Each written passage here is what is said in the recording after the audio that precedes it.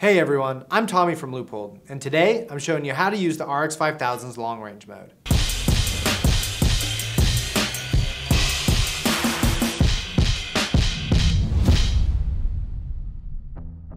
If you're here watching this video, you already know that our rangefinders dominate in the field, with pinpoint accuracy.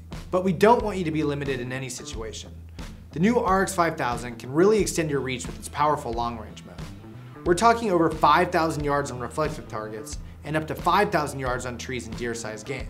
For those of you doing the math, that's almost three miles. Now you can more effectively navigate across valleys, plot your stalk, and even pin your targets using our GPS pinning system. This will help put you into a shootable range on that animal you spotted from miles away.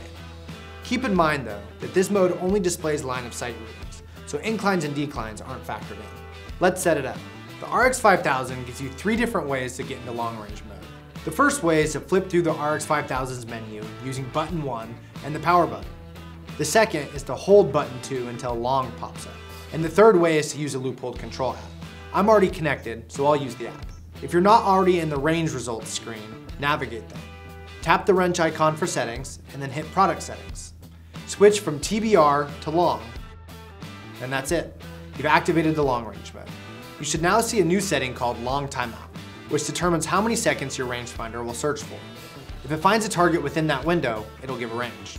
If it doesn't, it'll return no results. Now this setting is only relevant if you're using the app's remote fire button, along with the tripod and the RX 5000 saddle. And that's actually what we recommend doing. Here's why. We've all been there. You're ranging a target at a thousand plus yards when a little shake throws things off in a big way. Now imagine you're ranging an animal at 3,000 yards or you want to know the distance to the nearest ridgeline.